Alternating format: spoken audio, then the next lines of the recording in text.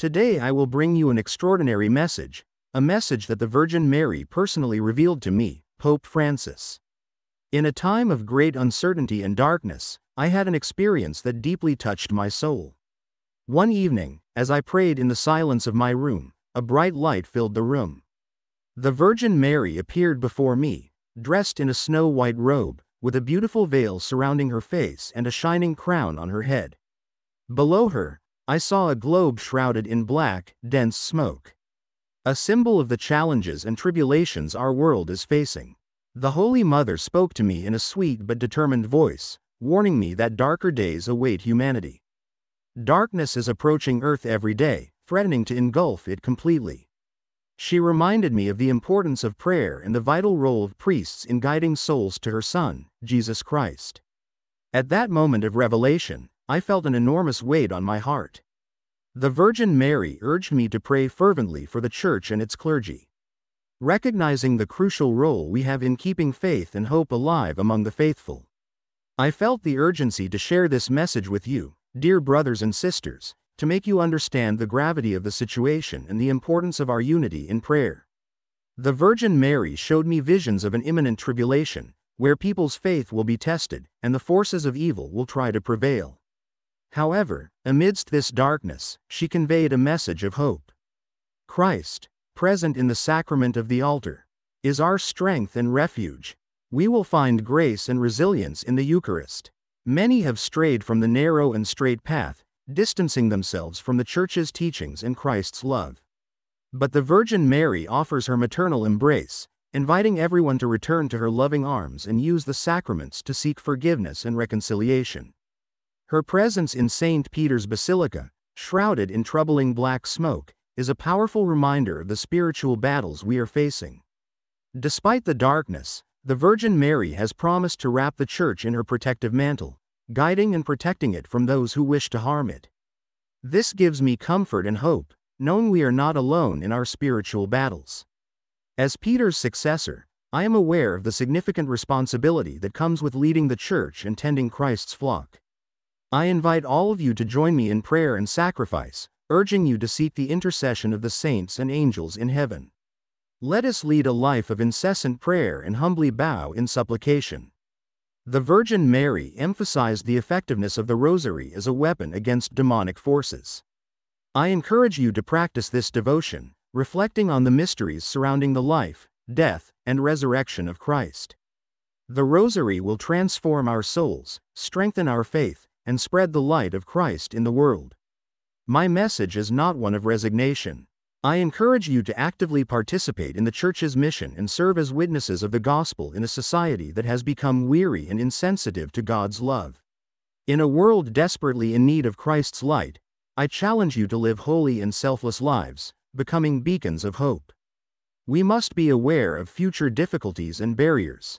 Ideologies of relativism, secularism, and atheism will undermine the Church's teachings and lead people astray. However, the Virgin Mary is always by our side, praying before God's throne for us. I conclude this speech with the words of the Blessed Virgin My children, I beg you, do not turn away from him, pay attention to me. This is an invitation to cling to Christ and His Church in the face of potential difficulties. Our true hope and salvation are found only in Christ. Now, let us pray together. Hail Mary, beloved daughter of the Father, I entrust my soul to your care. Protect the life of Christ in my soul, do not let me lose that life because of sin. Protect my mind and will so that all my thoughts and desires may please Christ. Hail Mary, full of grace, the Lord is with you. Blessed are you among women and blessed is the fruit of your womb. Jesus, Holy Mary, Mother of God, Pray for us sinners, now and at the hour of our death. Amen. The Virgin also emphasized the importance of confession. This sacrament is a fundamental way to obtain forgiveness and reconciliation with God. Too often we forget the healing power of confession. It frees us from our sins, brings us closer to God, and allows us to receive His grace in abundance. The Virgin showed me how many souls are tormented by their sins, bearing an unbearable burden. Therefore, I urge you not to fear confession. Approach with a humble and sincere heart, and you will experience the peace that only God can give. Moreover, the Virgin Mary asked me to promote a time of penance. This is not just a period of deprivation but an opportunity to reflect on our lives and recognize where we have strayed from Christ's path.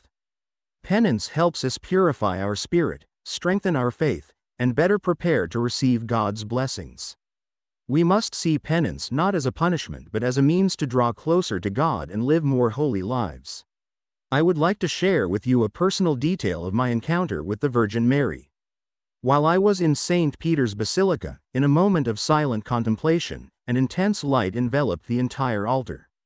In that light, I saw the figure of the Virgin Mary, her expression one of deep concern but also immense sweetness. She spoke to me with words that will forever resonate in my heart. She said, Francis, my church is under attack.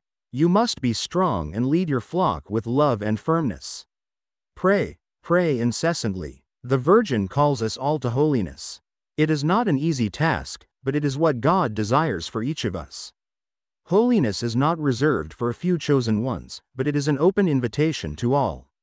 It is about living our daily lives with love, humility, and dedication to God. Be witnesses of faith in your work, your families, and your communities. Holiness is built through small acts of goodness, prayer, and sacrifice. In my encounter with the Virgin Mary, I understood even more the power of faith. Faith is what sustains us in difficult moments, gives us strength in times of weakness, and guides us when we are lost. Faith is not just a belief but an act of total trust in God. We must cultivate our faith through prayer, reading the scriptures, and participating in the sacraments. Remember, Faith can move mountains. I also invite you to reflection. In a world that runs ever faster, we must find time to reflect on our life and our relationship with God. Reflection allows us to recognize God's blessings in our lives and identify areas where we need to improve. Take time each day to meditate on God's Word, to listen to His voice in the silence of your heart. The Virgin also spoke to me about the importance of fraternity. We live in a world divided by conflicts, injustices, and hatred. Fraternity is the key to building a better world. We are all children of God, and we must treat each other with respect, love, and compassion. Fraternity does not mean only tolerance but a true commitment to care for others, especially the most needy. What do you think about today's topic? Please leave your comments below and don't forget to subscribe to the channel by clicking on the bell next to it to receive notifications when new videos are published. Forgiveness is another central theme of the Virgin Mary's message. We often carry grudges and resentments that poison our souls. Forgiveness is liberating, it allows us to heal and reconcile with others and with God. It is not always easy to forgive, but with God's grace, we can find the strength to do so. Remember Jesus' words on the cross Father, forgive them, for they know not what they do. By following his example, we can build a more just and peaceful world. Despite the challenges and tribulations, the Virgin Mary's message is full of hope. Hope in Christ is what sustains us in difficult times. Christ is the light that illuminates the darkness, our guide and comfort. Even in the darkest moments, we must keep hope alive, knowing that God is always with us and never abandons us. God's love is the foundation of the Virgin Mary's entire message. God loves us with infinite and unconditional love. This love calls us to respond with love, to God and to others. Love is the most powerful force in the universe, capable of transforming hearts and worlds.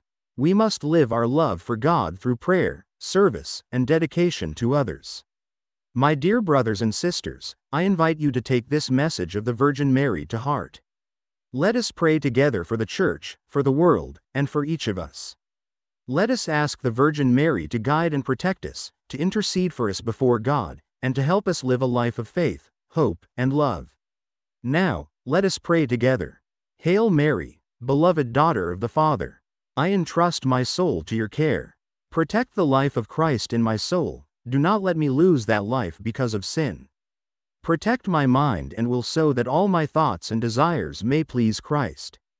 Hail Mary, full of grace, the Lord is with you. Blessed are you among women and blessed is the fruit of your womb, Jesus. Holy Mary, Mother of God, pray for us sinners, now and at the hour of our death. Amen.